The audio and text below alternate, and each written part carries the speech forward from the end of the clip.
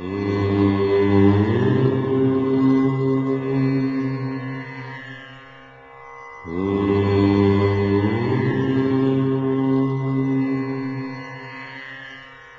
నమస్కారం.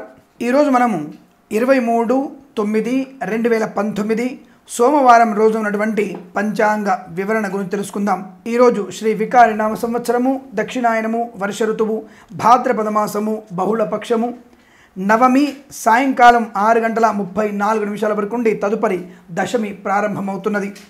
ఆర్ద్ర నక్షత్రం మధ్యాహ్నం పదకొండు గంటల ఇరవై ఏడు నిమిషాల వరకు ఉండి తదుపరి పునర్వసు నక్షత్రం ప్రారంభమవుతున్నది. వర్జము రాత్రి పది గంటల తొమ్మిది నిమిషాల నుంచి పన్నెండు గంటల ఇరవై తొమ్మిది నిమిషాల వరకు వ్యాప్తిగా ఉన్నది. దుర్ముహూర్తం మధ్యాహ్నం పన్నెండు గంటల ఇరవై నిమిషాల నుంచి ఒంటి గంట ఎనిమిది నిమిషాల వరకు వ్యాప్తిగా ఉన్నది. తిరిగి మధ్యాహ్నం రెండు గంటల నలభై మూడు నిమిషాల నుంచి మూడు గంటల ముప్పై రెండు నిమిషాల వరకు వ్యాప్తిగా ఉన్నది. రాహుకాలం ఉదయం ఏడు గంటల ఇరవై ఆరు నిమిషాల నుంచి ఎనిమిది గంటల యాభై ఆరు నిమిషాల వరకు వ్యాప్తిగా ఉన్నది.